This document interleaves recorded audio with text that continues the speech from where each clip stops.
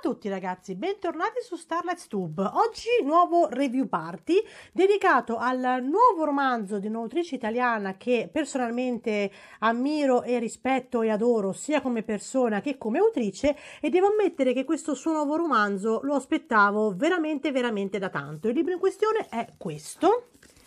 I migliori anni di Cinzia Giorgio. Cinzia Giorgio, per quei pochi che non sanno chi è, è una delle, secondo me, più rinomate autrici italiane degli ultimi tempi, eh, che ha già all'attivo, almeno per Newton Compton, la collezionista di libri proibiti, la piccola libreria di Venezia e la piccola bottega di Parigi. Questo è appunto, se non sbaglio, il esatto quarto libro più o meno che proprio romanzo che pubblica con, uh, con la Newton che appunto ha organizzato questo review party. E io li ringrazio tantissimo per avermi dato l'opportunità di leggerlo in digitale in anteprima. Uh, vi leggo velocissimamente la trama. Bando alle ciance.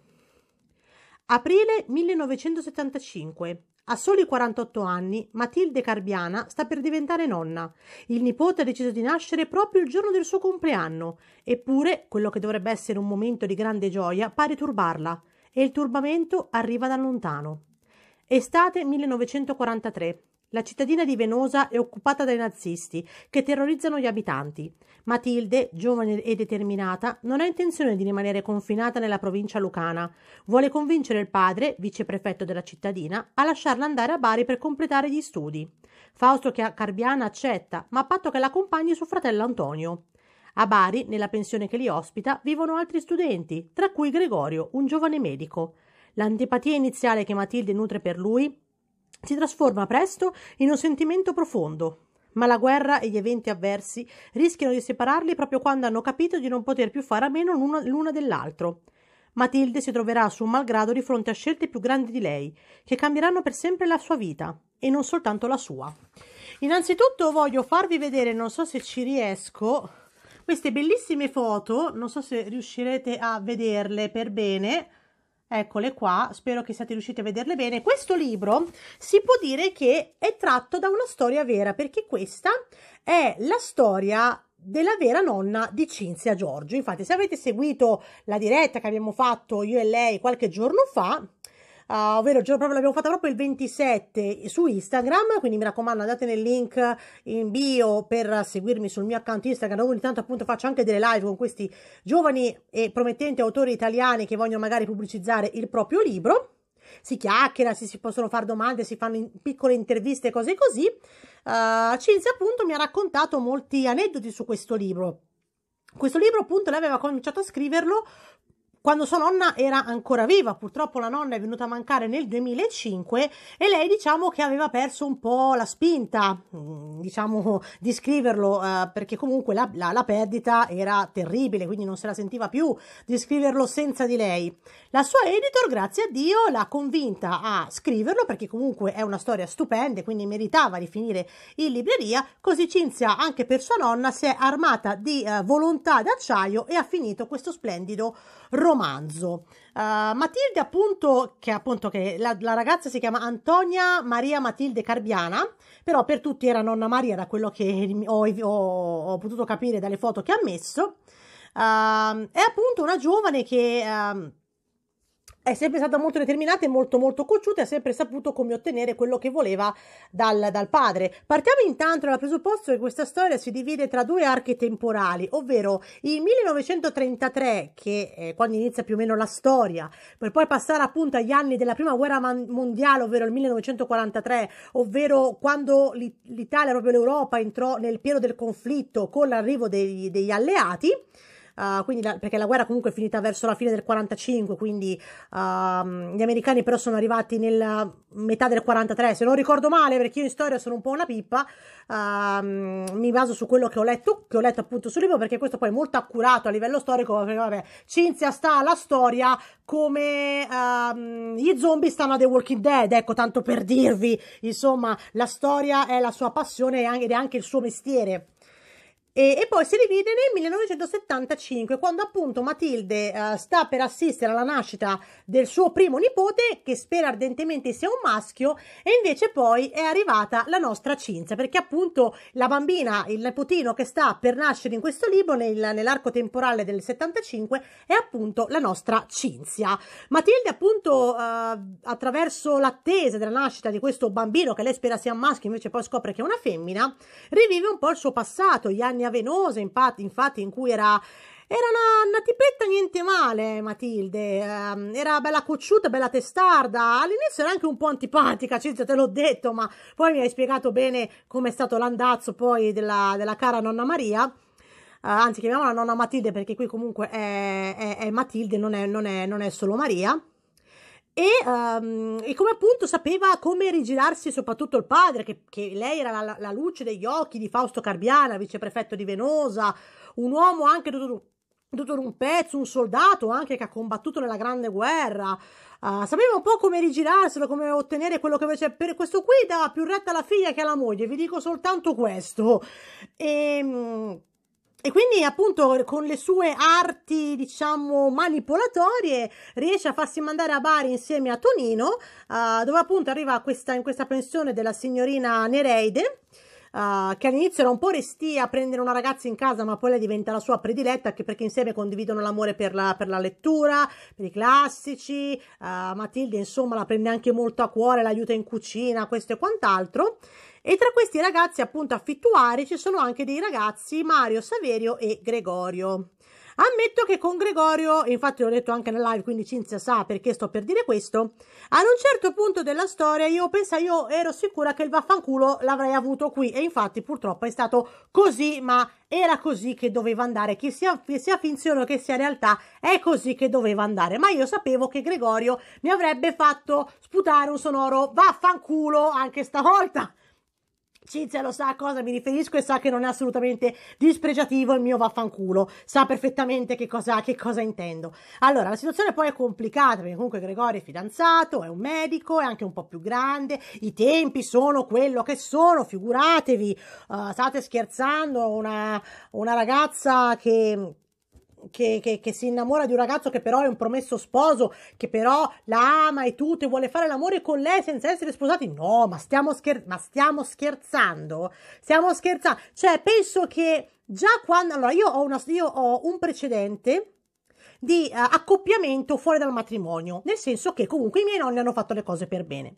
I miei nonni, i genitori di mio padre, si sono sposati che avevano lei 19 anni e lui 20 e mia nonna è arrivata all'altare già al sesto mese, cioè per dire. Però i miei nonni hanno fatto le cose fatte, per, fatte bene, si volevano bene, comunque quando uh, mia nonna è rimasta incinta si sono sposati per amore, si sono amati per tutto il tempo che sono, che sono insieme, si volevano un bene dell'anima. Quando mio nonno è morto nel 2012 mia nonna non è stata più la stessa, tanto che la sua testa è degenerata nell'Alzheimer, cioè tanto per, per farvi capire, l'ha chiamato in continuazione per mesi. Uh, infatti mio nonno mi raccontava sempre questa storia molto goliardica che quando, quando, vai a sposarti ai tempi, e adesso non mi ricordo neanche allora, mia nonna era del 30, si è sposata a 20 anni, quindi erano gli anni 50, quindi figuratevi ancora, erano circa gli anni, gli anni 50 e, e appunto, cre- sì, sì, sì, aspettate, eh? Sì, sì, anni 50 circa. E il prete gli fa, figliolo, confessami i tuoi peccati. Cosa ti devo confessare? Te l'ho portata qui, è già incinta, quindi figuratevi. Questo per dirvi che ne, ai tempi già di questi, poi soprattutto per una ragazza per bene come Matilde, l'idea soltanto di farsi sfiorare da un uomo senza essere sposata era una cosa indecente. E aveva ragione, anche perché comunque, per quanto la storia con Gregorio sia appassionata, sia bella, coinvolgente, i due hanno tante cose in comune, sembrano, sono proprio anime gemelle. Cioè, Cinzia qui ha reso Matilde e Gregorio proprio davvero due anime gemelle, due persone che dovrebbero stare insieme. Lui purtroppo però già, è già fidanzato con una ragazza che alla fine non ha ama perché è una ragazza eh, che era molto, che era figlia di, una, di un uomo a cui suo padre doveva molto e quindi quando è morto si è fatto promettere prenditi cura della mia famiglia e quindi di conseguenza ha accettato di sposare sta ragazza ed erano cose che purtroppo ai tempi succedevano e grazie a Dio adesso non succedono più. Quindi diciamo che è un po' un matrimonio combinato, possiamo dire così, però nonostante tutto lui non se l'è sentita di lasciarlo e quindi è qui che è partito il mio vaffanculo. Non facciamo troppi spoiler. Matilde poi, ho è un personaggio che però mi è piaciuto, nonostante all'inizio fosse un po' proprio una, una, tipettina non troppo simpatica, Cinzia. Poi ho imparato a conoscerla. Abbiamo una, una, ragazza che è determinata, cocciuta, intelligente, carismatica, uh, elegante intanto, sofisticata, anche con una grazia e una nobiltà d'animo, credo, fuori dal comune.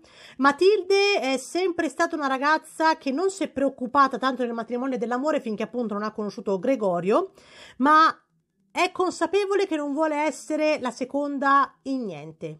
Non vuole essere la, la, numero due ed è giusto che sia così, soprattutto in amore. Non si può essere la numero due, ma manco per il cavolo. Cioè, io dicevo, io la brava Matilde, cioè, ma veramente, mandalo. Se questo qui non, sto, non vuole lasciare la, la fidanzatina, è già sposato, va, manda, manda la puta via, ciao, come, come dicevo io durante, durante la lettura.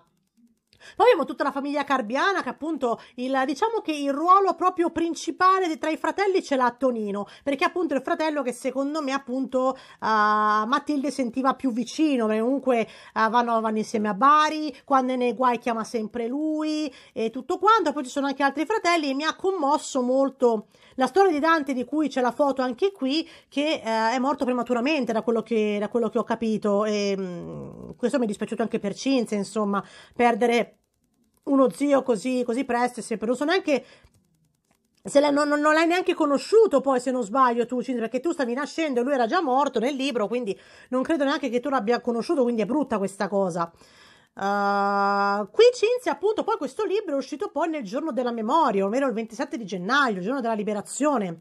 E ci sta perché comunque è ambientato nell'arco della prima guerra mondiale ci sono tanti uh, tanti fattori narrativi e storici sempre accuratissimi perché come ho detto Cinzia sta alla storia come gli zombie a The Walking Dead quindi veramente è anche accurato dal punto di vista storico ma senza essere pesante perché appunto Cinzia riesce a farti appassionare alla storia nei suoi romanzi senza renderlo l'argomento principale perché appunto percepisci la passione che questa donna mette in questo genere di cose e veramente ti fa di nuovo venire voglia di studiare. Vi dirò la verità, ve lo dico io che sono una 33enne. Io ho imparato molte più cose sulla storia con libri di Cinzia di quando andavo a scuola, ve lo giuro, non vi sto dicendo stronzate.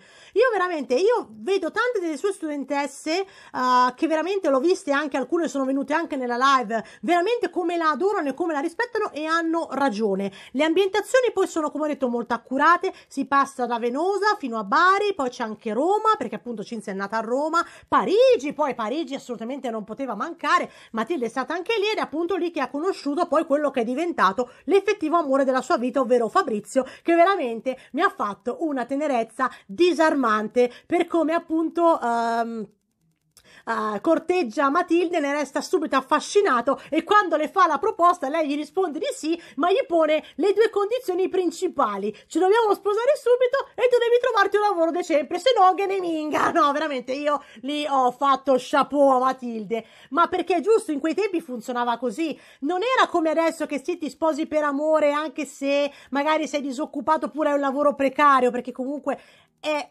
comunque trovi il modo di cavartela in un modo o nell'altro. In questi tempi qua bisognava sposarsi comunque con le idee chiare. Anche i miei nonni l'hanno fatto. Mio nonno comunque aveva un lavoro, dopo il matrimonio si sono, si sono trasferiti perché mio nonno appunto ha fatto il camionista per tanti anni, poi è andato a fare il magazziniere a Milano, poi è andato, sono arrivati fino a Milano i miei nonni, sono passati da, da Gaiba, che tra Veneto e l'Emilia, poi sono passati appunto in Emilia Romagna, per poi arrivare a Milano, a Corbano, dove poi è nato mio padre a Paderno Dugnano cioè per dirvi quanto si sono dovuti spostare anche per il, anche mia nonna, figuratevi, mia nonna si è fatto un mazzo così tutta, tutta la vita a fare le pulizie a destra manca, ha lavorato anche lei in fabbrica, so, però avevano le idee chiare, si sono sposati, hanno avuto mio zio eh, e poi dopo, eh, dopo sono arrivate purtroppo due bambine che non ce l'hanno fatta, sono purtroppo decedute appena nate praticamente, poi è arrivato mio padre dopo nove anni, quindi le cose a quei tempi si facevano per bene, con le idee ben chiare. Ed è quello che appunto fa Matteo Matilde. Qui il libro appunto si conclude, diciamo, con uh,